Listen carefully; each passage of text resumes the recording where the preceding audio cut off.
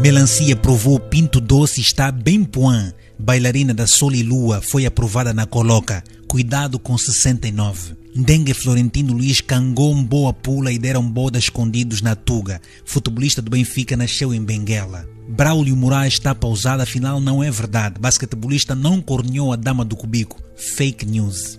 Pedro Lima Coiô, ator luso-angolano, tinha 49 anos, deixou cinco monamis órfãos. Estudaram, fizeram provas sem cabular, Ministério da Saúde deixa de fora estudantes com nota positiva. Jovens dizem basta e fazem manifestação.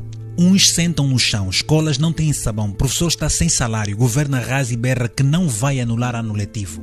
Yuri da Cunha está em dia e surge nas redes sociais com novo visual, careca falada boa para dar uns cocos. Rui Falcão sempre em ação, governador de Benguela não pediu demissão. Governar Cuiané Silvio Nascimento está fatigado com o futuro do país. Ator e apresentador disse que será presidente de Angola. Pelo partido de J-Lo ou do Adalberto? Andulo está de parabéns. A administração cria separador contra a Covid-19 que vai ajudar também a travar quibuzo do sovaco. Novo pincho da Neide Sofia é o Rei Arthur. Viram cu. Rádio Vitor. Nesse jogo apostei. E está onde tu estás.